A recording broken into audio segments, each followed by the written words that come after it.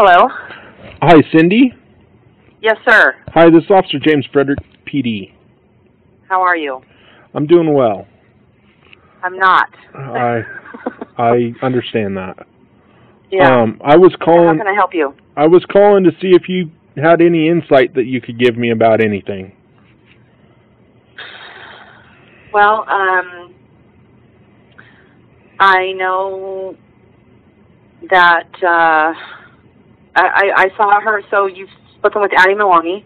I have not Um, spoke with Addie- I have not. She's on an Oh, airplane right now. I talked yeah. to Sam. Okay. So she's yeah. Okay. You talked to Sam. Um, so we've been in you know constant communication all day. Um, Addie has been going back and forth. She's going to have probably the most information, except she's been relaying it all to us. Um, so Addie, you will be talking when she needs to land. Right. Addie and I were with Shanann and Nikki last night for dinner here in Arizona, Okay.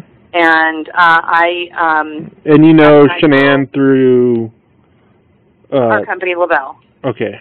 Our yeah, our company Le-Vel. So she's become like a you know close friend, like a sister to us. Can you spell your company name for me? Sure. Um, capital L E, and then dash, and then V like Victor E L. Okay. Uh, It's direct sales, so we're all independent contractors. okay. hmm So she, you were with Shanann and Nikki last night. Correct. in Arizona. And, um, took correct. So we had dinner, and then Addie and I took um, Shanann and Nikki to the airport. Okay. And do you live in the Okay. Phoenix area, or where do you live at? I do. Okay. I live in Queen Creek, Arizona, and that is a suburb of Phoenix. So um, I dropped them at Sky Harbor Airport, which is our Phoenix airport. Okay. And that was around seven-ish. I mean, I think their flight was around eight forty-five. Okay. And um, and what I then I was relayed the information today at about noon my time that Shanann was missing And who'd you And- find that out through? from Addie, And do you know how Addie found out? uh, from um, Nikki, and uh, so this was like a relay going through the phones. Okay. Okay. And so how how long were you with Shanann this week? Like how many days? Uh, so Shanann, I believe, got here either I think Thursday. okay. We had uh, an event um, for for Le-Vel.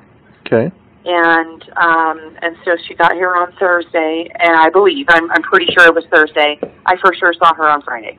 Okay. So I saw her Friday, Saturday, and Sunday. So all three days. Mhm. And did she fly in with Nikki? I I believe she did. I know she flew out with her, but I don't know. I wasn't um around when they flew in. So I don't know that for sure. And uh is there anything that that she talked about while you were with her that was concerning or kind of raises some red flags to you? Yes. Well, uh, she mentioned that um, that her husband has been distant. She's very sad. She was about to break down. Um, he he's been saying things that uh, they're not compatible anymore. Um, that uh, she's so concerned. You know, there's just trouble, and so you know, it- blindsided by this. This was not normal. Um, he wouldn't really explain much, you know. Um, so she she mentioned things about counseling. Um, they were going to try to go away for the weekend. Um, the, so she just was talking about being distraught, like just blindsided. This was unexpected whatsoever. You know, um, it was odd that he deleted his Facebook account, but on when when he was on Facebook, and this was maybe a week or so ago. I'm not. I don't know exactly when. Um, but it was odd that he deleted his Facebook account. Um, they were always, you know, he was always talking about her and the kids, and you know, and he was proud of her growth in the company, that you know, all the accomplishments, and they just seemed like He- a great team. He would write this on Facebook. Yeah, correct. Okay. but haven't seen hadn't seen much lately. And so she went out of town to go visit family in um i on the East Coast, and I think it was like a six week trip. And at the latter part of that, and that was recent, like within a week prior to her coming here to Arizona. And I think the latter part of that week, he joined them and um and that's when I think she discovered that things were. And the other thing that I knew was, or that she relayed was that um, they just found out that you know they were going to be having a boy. She's you know 15 weeks along, and that they were going to be having a boy, and um, and that that they canceled the reveal, like the gender reveal party, because just the energy was not right, and that's something that she mentioned. But no indicators that he wanted a separation. The energy between them, those two weren't wasn't Mhm. right. Yeah, like there was, she just didn't understand why he was this way. You know, like why he didn't want, why he was feeling like that they were not compatible anymore. Where where'd that come from? You know, kind of stuff. So Were you friends with him on. Facebook? I was. I don't remember now. Actually, I think I was. Yeah, but now I I can't look. You know for sure. I'm pretty sure I was. But either when you know things were tagged or if he was in it, it was always she was always involved. So So you'd see his posts because she correct. Yeah. he would tag her. Either that or um I was friends with him, but I don't remember. Gosh, we have such a big company. Okay, So. but, um, but you saw the post on your Facebook, and it's not through Correct. someone else telling you about him. Oh, correct. No, no, no. I would I would see it. Okay. Is there Um, has she mentioned anything else about their relationship or seeing anyone else or anything like well, that? that was always obviously a question, you know. Um, and she was concerned about money that he had spent that night. He went to apparently a ball game. It, it was a question about him seeing somebody else. Yes, Okay. Like my that went through my my mind. Like all of a sudden, and he's like gotten more fit lately. And I mean, I'm sorry to be saying all of this, but No, you know, I you know we're we're kind of starting it.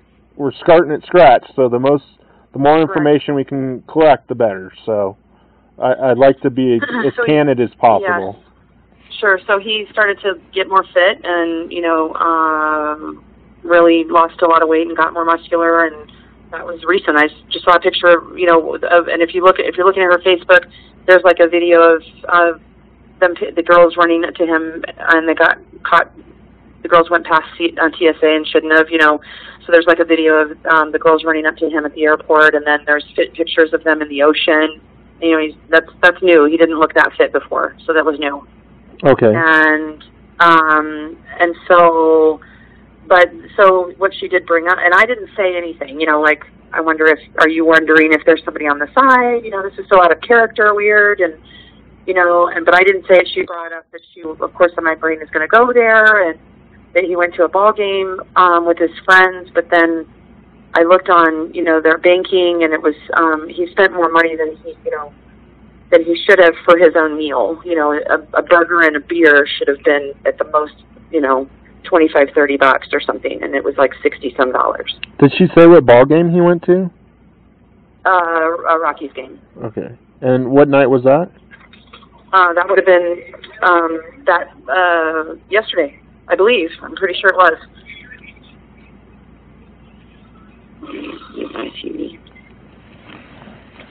Okay.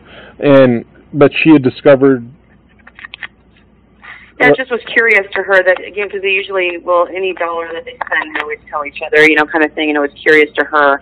I mean, her her her just suspicions are everywhere. You know, one trying to figure this out why he's not wanting to, you know, um, just you know, it, not wanting to.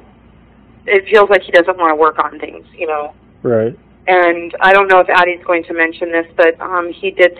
She did relay to Addie that he said that he did not want a baby that's coming. Okay.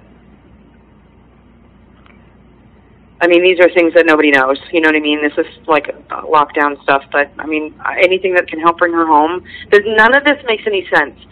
She, those babies need their medicine. Um, you know, she's the most OCD, like, t- like really routine person that I've ever met. Um, but just a joy. You know, just loving. But she's like a helicopter mom. She would have never left that house without the girls having everything that they needed. The fact that her purse i mean i mean we're trying to be reasonable too. Like okay maybe she could have called the pediatrician you know and called it in. We're trying to be reasonable and not hys- hysterical. Right. but none of this none of this makes any sense at all. And where did she go? Because the video shows her no nothing. I mean going out the back wouldn't make any sense. That doesn't make any sense for her to do Um, it could have happened, sure. I mean, I, obviously, there's things that could happen, and I'm I'm hoping that's the case. But um, she doesn't have an ID. Could she have taken a passport? Maybe, and cash. And you know, but the, the debit cards. I mean, nothing. It just none of this makes any sense. And Have you been in contact with Chris? I have not. Sam has. Oh, Sam has. Okay. Yeah, and was kind of playing it dumb. You know, like, are you guys okay? And it just to us, all of this. She's showing us all of these screenshots of you know his her interaction with him, and and we're going. Sam showing you these? You, yeah, yeah. She's like relaying that to Addie and me, and and we're like, why are you? You know, he said, well, we I have some people here, and they're they're sitting here with me, and I'm like, why aren't you idiots out on the streets with flashlights? I mean, I don't. He's so calm. I don't understand it. He's a calm person anyway. He's a very passive man. Um, How many times I- have you met I him? I've I've never met him in person. Okay. It's this is all you know. Third hand I've never met him in person. Yeah, it's just kind of like what I know through. I, I I've seen. I know. I've I've been in, in Shanann's presence many times, and so and and just even just talking on the phone, she'll talk about Chris, and then the internet the interaction of you know them on Facebook and stuff. He's just more of a passive guy. You know, not kind of quiet, not real animated. You know, but he's always talked about how much he loves her, and I'm so proud of her, and none of this seems right. But what I'm what's very curious to me is why he's so calm right now. Right. I, I just don't understand any of that. I don't. Uh, I'd be throwing up. I'd be sick. And so she's and she's very ill. She's got lupus. So that's why you know. Obviously, you probably know that. But Nikki went to go do a well check on her because she couldn't get a hold of her. So she was worried that she was passed out on the floor. Had she? And that's Did she say how she was? If she was feeling okay this weekend? Well, she was more. She wasn't. It didn't seem like that she was sick, sick. You know, like from her um, lupus. She just was so distraught. I mean, this is just a blindside. She doesn't want to lose her marriage. She doesn't want to lose her husband. You know, she just distraught. Doesn't didn't seem like her perky self. You know, like normal. Right. But she's somebody that just takes care of business. You know, she just takes care of business and like stuff needs to get done, she'll get it done. You know, and so she hopped in a few times to help with you know over the weekend for the event and you know that kind of thing. But I didn't, you know, she didn't reveal all of this until we actually sat down to dinner. All all the event thing was over, and this is when she told me. And Was this like, last night she was telling you, or Saturday? Yeah, yeah, at dinner. Okay. You know, last night before the airport, before dropping her off. And who was at dinner with you guys? It was you, Addie. It was me, Addie, Nikki, and and Shanann. Okay. and she was anxious to get home. She was concerned because we were having issues here with um, weather, and you know, um, we kept getting weather alerts. We were in the air, you know restaurant, and the electricity went off, and so she was a little like on, you know, like alert. I mean, she was just you could tell she was a little anxious Right. to get home. She just wanted to get home, and worried she was going to get stuck here. Is there anything else you could think of? It, had she said anything that that he had harmed her physically, or um, No, there had ever been any any of that. violence or ever anything ever? No, I mean, and just just based on observation, that doesn't seem like something that he would be like. You know, um, it just wouldn't seem like he would be that way. Okay. But I, I just She wasn't I, you know, fearful of him. No, she just was so sad. You know, she just didn't understand why it was going in this direction. Completely blindsided. So there was not. She didn't mention anything that he had gotten like raised voices and or anything like that. Right. It never. She never mentioned that. She just. He just kind of. I think the one thing he said to her that she relayed was, you know, she knows. She, she's like, I know that I'm a control freak. You know, I'm. I'm. I have to be with the girls because the girls need their medication and, you know, all that. You know, she just is that pa- that person. And the only thing that she relayed that he said was like, it'd be nice if I was able to hang something on the wall without you hovering over and critiquing me, you know, over my shoulder. So he was getting annoyed by things, I guess. I don't know Okay. and she just didn't everything worked up until then you know like they had a routine and everything worked up until then you know i guess Did she say how long their this had been going on with their marriage? Was it something recent or something for? yeah it was it's this has been super recent um like i said the trip to um the carolinas was she just got home within days or a week prior to coming here to Arizona. And it all happened then. And right, I think it all happened like when he came there, and you know something like that. Like some either he waited till they got home, or it was there, you know, at the latter part of the trip to the Carolinas. But it was very recent that it all came up. Is there anything else you could think of? Because I, I, when I talked to Sam, she said she was sending you and Addie a message with our phone number on it, and that Addie was going to call me when she landed. Yeah. Um, and then Addie. then Sam said that you know th- they're going to be calling you. You know, she, they said I gave them your phone number and that they were going to be calling you. And Okay. it just um, her her leaving without any of her stuff is not. It's not even like. How long have you like, known Shanann? Mm, a couple of years now. And how often would you see her? Um, I'd see her at events, but we talk on the phone quite a bit. So with work, and then every once in a while it was personal, and you know that kind of thing. Okay. Um, But I well, was, you know, last time before this, I saw her physically was um, early end of April, early May in New Orleans. We had an event. okay.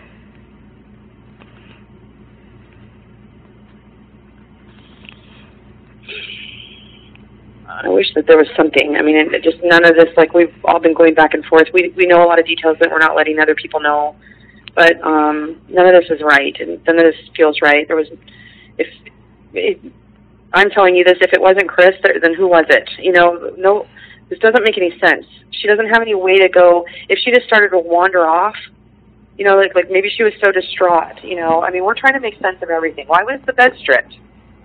You know, okay, where are the sheets at? Is that Are stuff Chris is telling you guys? No, this is just other stuff that we're being relayed that only a few of us are talking about. How how are you guys getting that information? I guess is my question. Is Chris relaying that to you or Nikki? No, he is not. Nikki was trying to trying to help make sense of this. Okay, I I'm just I'm just curious how you guys are finding out I don't want her to information. get in trouble. No, I don't want her no, to get in she's not going to get in trouble. It's our, it's you know, we're trying to put a big puzzle together. So, as best as we can figure out who knows what. That's Mhm. that's something that you know what I mean. That's something we need to know is who knows what. course. So, and Um, you're not at fault for knowing anything, and so well, I don't not. want Nikki to be at fault for sharing. She's out of her mind. oh, You know, oh no, she's- she's she's not going to be in trouble. Trust me. and we're and we're um we're we feel like we're like trying to mold and trying to be reasonable also like not trying to jump to conclusions either you know but it's just that it's just based on who we know about Shanann none of this makes any sense whatsoever Right.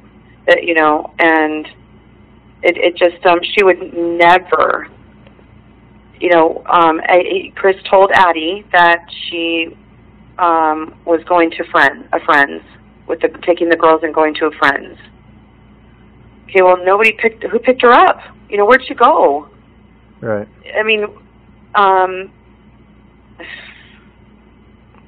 Uh, yeah, and, and we're trying to piece it all together. Right, right now we're we're investigating it as a missing missing persons report, um, mhm. and I wish I of could course s- I know you can't jump to share more details with you, but unfortunately I I can't. I understand Um, but it's it, it's our job to try and talk to as many people as we can. To you know, we talk to one or two people, we don't necessarily get the whole story of who she is and stuff. So it's uh, I appreciate you talking to me, and you have my number. That number that uh, Sam had Okay. sent out is to our dispatch center, and if you call that Mhm. number and ask for a Frederick officer, one will Okay. you can get in contact with one twenty four seven.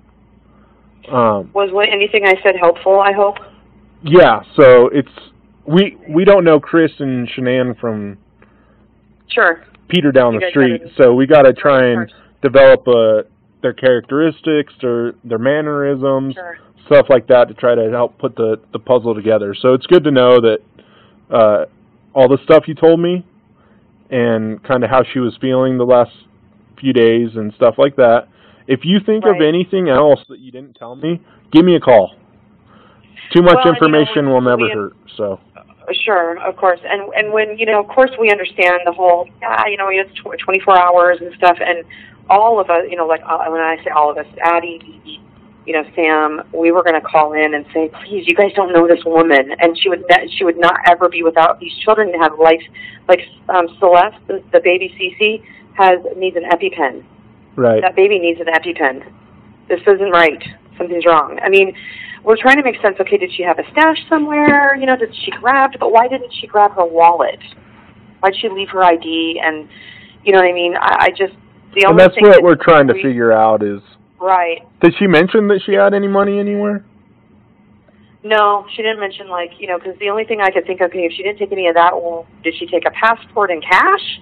I mean, I, we're trying to think of plausible things, you know, that would. Uh, but if she just like left the house, you know, on foot out the back because obviously there's nothing up front that was you know shows that she left. Um, so if she left out the back, but then the children are going to get hungry. She's going to knock on somebody's door. I'm sorry to bother you. Or she ends up in a hospital, you know, somewhere because she starts to be too distraught. Something, you know, like. And So would you describe her mental health as fragile?